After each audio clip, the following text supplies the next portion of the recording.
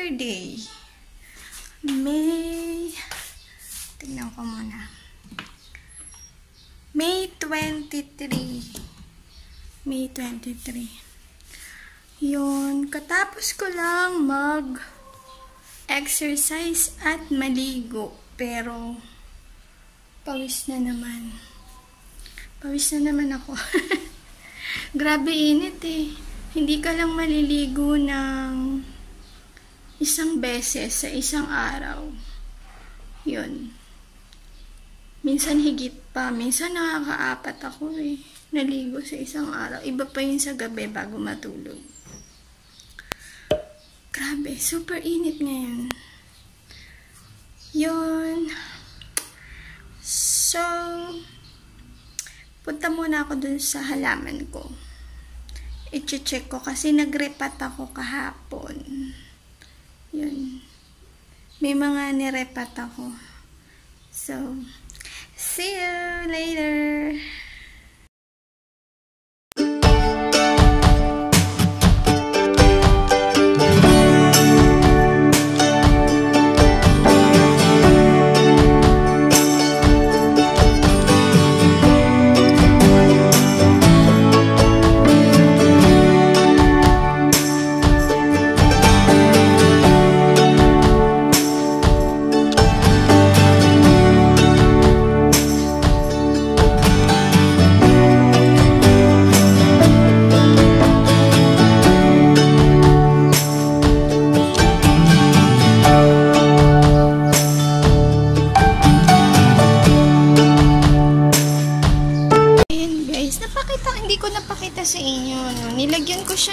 Kasi hindi siya pinupuntahan ng ibon pag meron yan. Kasi pag humahangin, gumagalaw siya.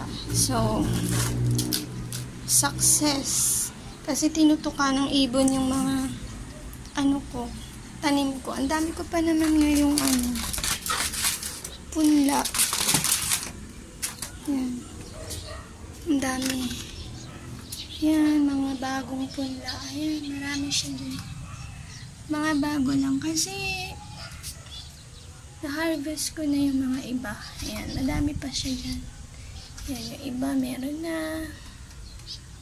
Ayan. Tapos ito yung update. Kalabasa and ampalaya. Ayan, mga bagong tubo. Yan, yung mga pinunla ko before, tumubo na rin sila. Yan. Yan, marami yan eh. Ayun o. Yung tinutuka kasi dati ng ibon, kaya kaya laging hindi maging okay. Ayan, ayan pa siya. Ang dami oh. Ito, kahapon lang yan. Kahapon ko lang yan tinaniman. Kasabay nung iba. Ayan. Tapos nag-repotting ako kahapon. Yung iba nilipat ko na. Ayan. Tapos guys, nakakatuwa na kasi yung talong ko nag-uumpisa na siyang mag-flower. Ayan o. Oh. Sana tuloy-tuloy na sila. Ayan pa o. Oh yung unang flower na ano eh, nawala. Ayan yung, hindi ako maka, ano eh, buhay talaga ng cucumber eh. Ewan ko kung maging okay to ngayon. Ang tagal ko nang nagtatry. Tapos ito yung last week kong hiningi na aloe vera dun kila ate. Ayan, ewan ko kung makasurvive sila. Ayan.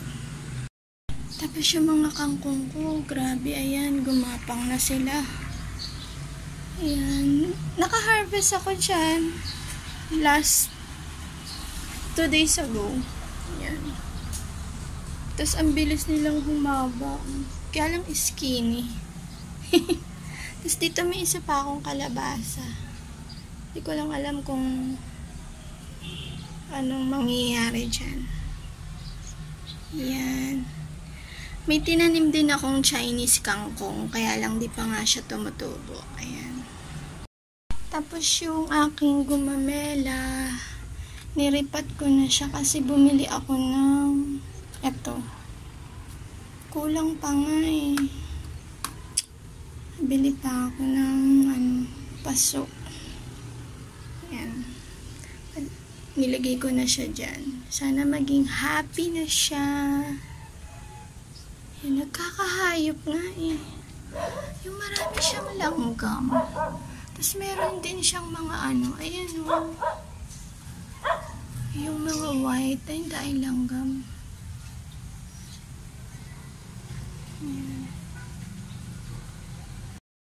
Good morning, Sarah's friends. It's Sunday today, May 24 kadarating ko lang nga. Maaga akong nakauwi. Galing ako kila ate. So, 8, mga 8, nandito na ako. Ayun. Umalis kasi ako 5.30. Kasi ang liwanag na.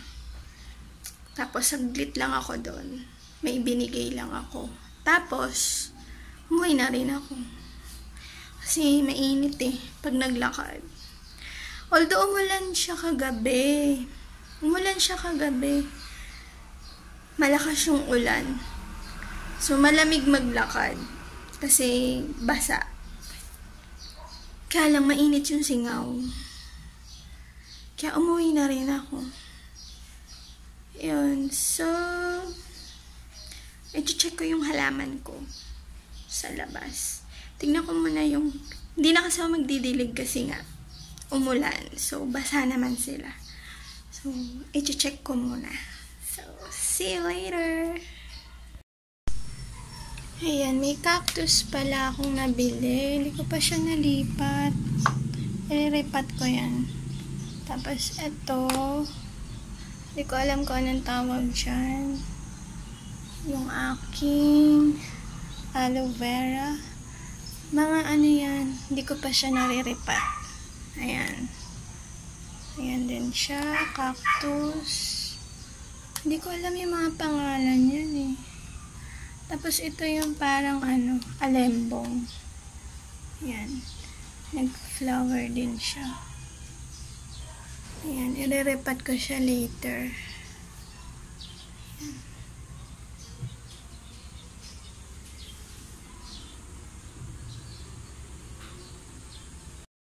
Tapos, ito din pala. Yan. Irerepat ko din siya. Tsaka ito. Tatlo yan eh. Ayan, ito pa.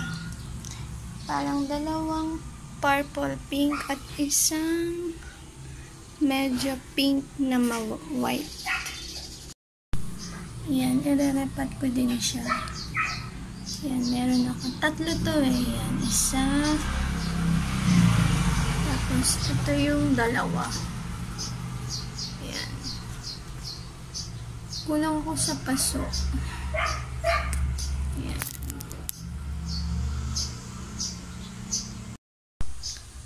Ayan yung kalamansi. Ayan, bumili rin ako ng isang malaki. Kaya lang di ko pa siya narepat. Baka mamaya. Or tomorrow. Ayan. Sana okay lang siya. Ayan, mukhang happy naman siya kasi may mga ayan yung mga buko niyang may fruit niya. Ayan. Pero nabili ko na to may fruits na siya. Siguro ano to, 2 weeks na ngayon. Ayan. Tapos yung orchids ko, wala na yung flower. Natapos na, kinat ko na siya kahapon. Yan. Nalanta na. Tapos dito, yung yung libreng bigay sa akin na photos ba tawag dito. Ayan, nilagay ko siya dito sa vase. Hayaan ko muna siya dyan. Ayan. Sana happy kayo. Ayan. O, diba? Kailangan natin ng plants. Tapos yung isa kong halaman na indoor, nilagay ko muna dito. Kasi sa sobrang init, nabibilad siya. So, nilagay ko muna siya dito sa loob. Sana happy ka naman. Yan. Bibili pa ako ng mga, yung mga stone. Ayun. Siguro, pag may time na lang si kuya ulit, papaservice ako sa kanya. Yan. Nilagay ko muna siya dyan.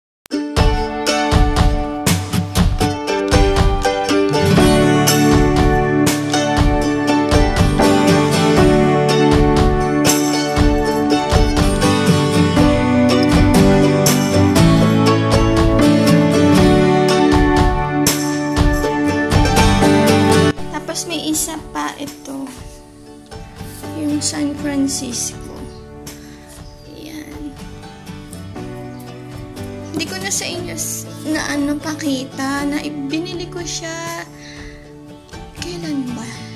3 days ago. Kung kasama ko si kuya.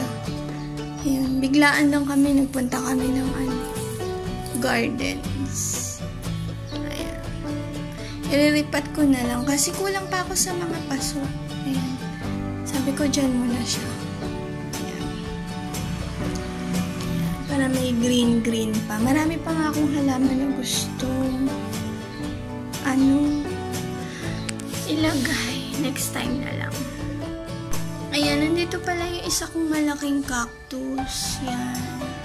Galing yan yan sa ano, sa sa Cagayan pa yan. Siguro ano na, 7 years na siya. 7 years old na. Kasi first time kong pumunta doon bago kami ikasal. So, hiningi ko siya pag uwi. So, ang tangkad na niya. Hindi ko alam kung anong tawag dyan eh. Ayan. Dat, maliit lang yan. Na hiningi ko. As in, super liit. Ayan. 7 years old.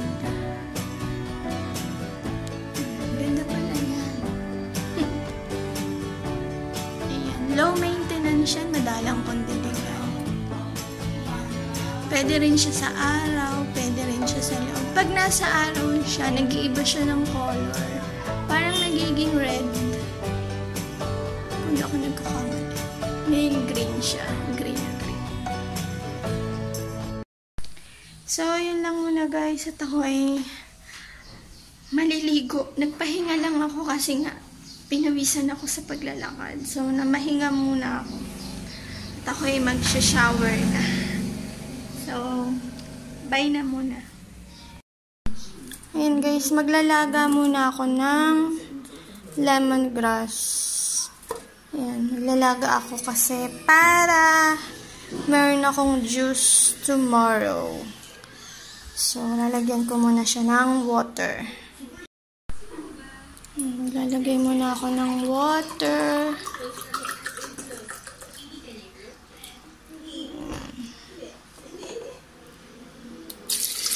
One.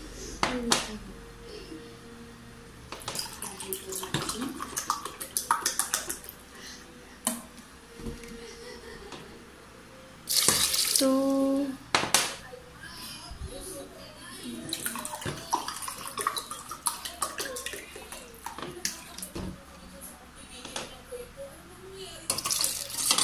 Three. Bilang talaga tayo. Ano.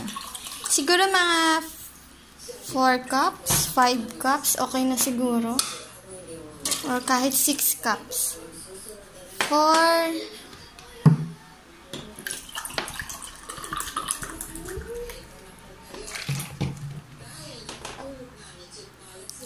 5 6 cups na. Ayan. Kinulang pa ako ng konti. Dagdagan ko na lang dito. So, tama. 1 liter. Ayan. 6 cups. Ayan.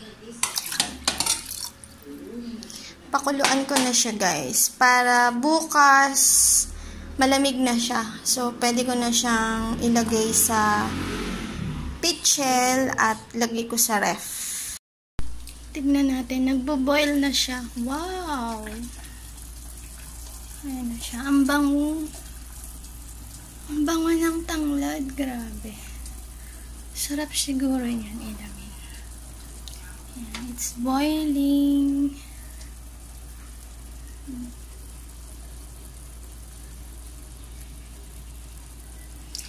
Mga 2 minutes pa. Tapos i-off ko na. I'm back! Sarah's friends, eto. Kasalukuyang nagpapatuyo ako ng hair kasi naligo ako bago matulog. Kasi nga, pang fourth ligo na. yung gabi. Napakainit eh. Umulan nga, pero sumingaw lang yung, yung init. So, kadagdag init. Yun, kahit na, sa gabi lang naman ako nagbubukas ng aircon. Sa araw, hindi. Kaya, nakailang times ako kumaligo sa araw. Yung, kasi pag di ka naligo, di ba init na init ka, yung pakiramdam mo, parang may mga tumutusok-tusok sa balat mo na kasi mainit yung pawis. Yun. So, papatuyo muna ako ng buhok. Medyo dry na. Tapos, para makahiga na, it's bedtime na. Nonood ako ng as usual, K-drama, mga Korean drama dyan. Yan. Tapos ko na yung, ano, The World Married Couple. Tapos ko na yun two days ago. So, ngayon, yung, may pinapanood ako eh.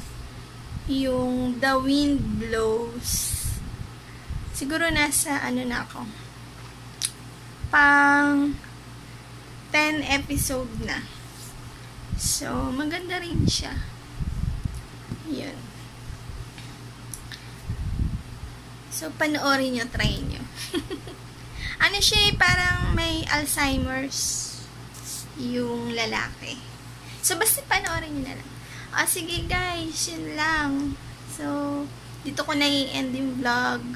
So, wala namang ibang mga kaganapan pa. So, yun nga, ulit-ulit, napakita ko lang yung mga halaman.